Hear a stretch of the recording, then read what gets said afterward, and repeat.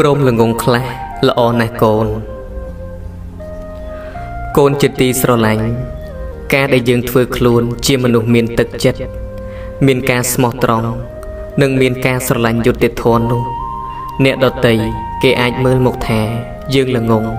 មិនចេះរកស៊ីមិនចេះចង់មានចង់បាន មិនចេះឆក់ឱកាសកូនអើយព្រមឲ្យគេថាទៅចុះព្រមឲ្យគេថាល្ងង ល្អជាងកូនជាមនុស្សមិនមានទឹកចិត្តមិនមានសុចរិតស្មោះនិងមិនមានយុត្តិធម៌កូនធ្វើការដោយស្មោះត្រង់មានទឹកចិត្តចំពោះអ្នកដតីស្លូតបូតត្រឹមត្រូវសំបីមិនសូវមានទ្រព្យលើសពីការប្រើប្រាស់ដូចគេក៏ដោយតែកូនសប្បាយចិត្តគ្រួសារយើងអាចខ្វះខាតខ្លះប៉ុន្តែមានការកក់ក្ដៅរស់នៅឃើញមុខគ្នា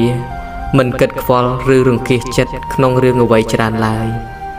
រវាងការមានទ្រព្យសម្បត្តិតែមិនមានការកក់ក្ដៅនិងមានការកក់ក្ដៅគ្រាន់តែមិនសូវមានទ្រព្យពីរយ៉ាងនេះតើកូនជ្រើសយកមួយណា មានមនុស្សមួយចំនួន មានមុខមាត់ក្នុងសង្គម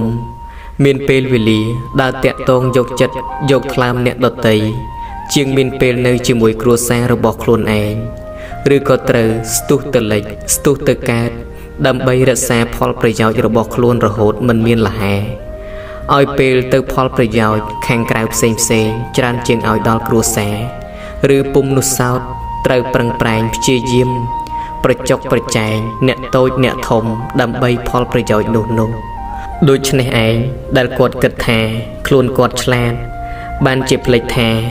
ព្រោះការឆ្លាតរបស់ខ្លួនឯងបានធ្វើឲ្យខ្លួនឯងមិនមានពេលបរិភោគឬបរិភោគខុសពេល មិនមានពេលដេកមិនមានពេលសម្រានិងមិនមានពេលឲ្យដល់គ្រួសារគ្រប់គ្រាន់ធ្វើឲ្យគ្រួសារខ្វះភាពកក់ក្ដៅកូនអើយ